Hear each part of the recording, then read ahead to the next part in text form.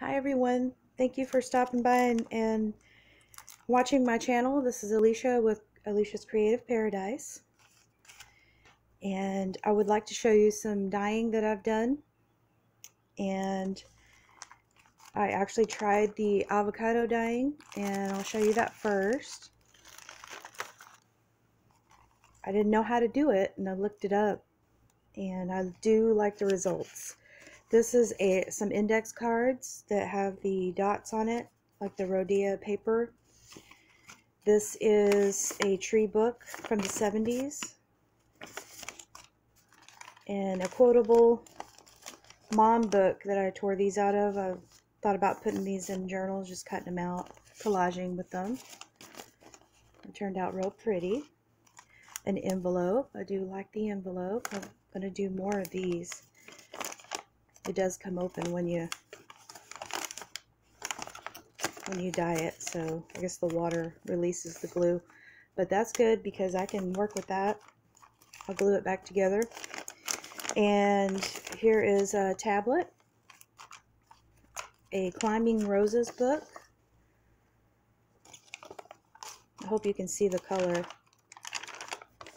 Now some of these I double dip because they weren't uh, dark enough this one turned out kind of light. Some dictionary paper. This one's double dipped. This one's dipped once. I like that little ship on there. And then this is a 1970s gardening book. The paper were, was already green, so uh, you can barely see a hue of pink in that. And this is a flower book. And this is the one that I dipped twice. So it soaked it up better on the second dip. Okay and a catalog for ordering vegetables. I've already started uh, cut it. I've already started trying to work with it for a journal. In this wonderful macrame book that I've had for a long time I've been saving it. It's from the 70s and the paper is really old and I really like the way this turned out. I can't wait to use it in a journal. More Rhodia paper. This is from the tablet that I got at Michael's. Alright, and then let me show you my coffee dyeing.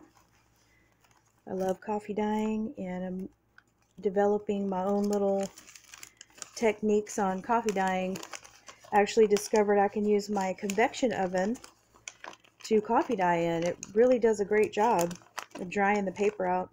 This is a tablet from the Dollar Tree. It comes with all these different colors. And look how pretty and vintage it made these papers look. I really like the way that turned out.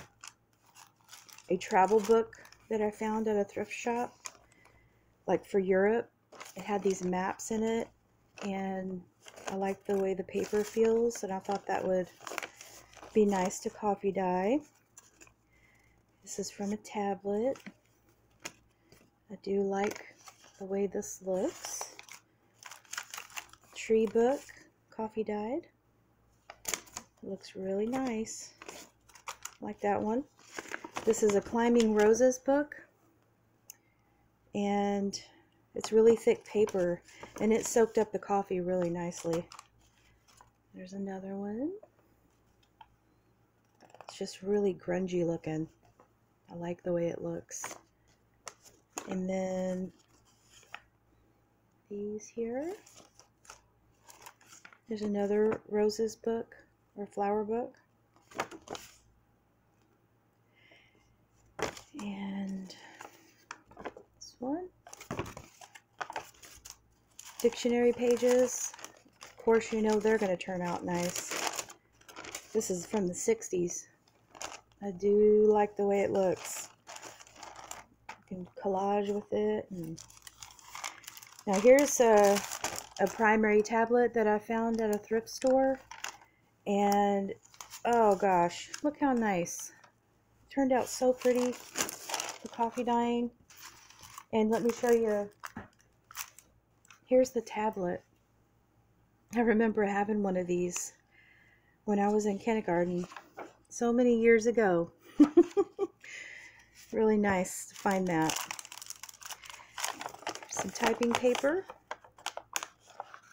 and different types of tracing paper. I have the Reeves brand, this one which is opaque kinda, it's not as see-through, and this is a Canson brand and it is more see-through and I like the two different looks of the tracing paper for a journal.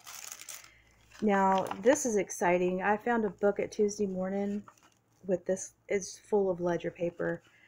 Oh my gosh, it turned out so nice. And the, the pages are so big. This is already cut down. And I'll have plenty of ledger paper for a while. And this is manila paper that I've had. I have a bunch of it. And always thought, well, I can't use it because it's so flimsy. Well, so when you turn a page, it might rip. But when I coffee dyed it, it made it stronger. So I think it'll be fine in a journal. And this is just some drawing paper. It's pretty thick. Drawing paper always comes out with really neat results when you dye it. So let me show you what I mean. Uh, this is an experiment. This is beet dyeing. I used beet juice that I had sitting on the counter and look how pretty. This is the primary tablet and I hope the camera shows how pretty it is. Look at that. This is the beet juice and all this was white drawing paper and this is how it came out in my little convection oven. So beet juice, I'm going to be using that again. well, thank you so much for watching. I really appreciate it. If you like my video, go ahead and uh, give me a like and subscribe, hit the bell, because I will be having new videos coming out, journal flip-throughs, and maybe some crafting uh, with you videos. So come back again. Thank you so much and have a wonderful day.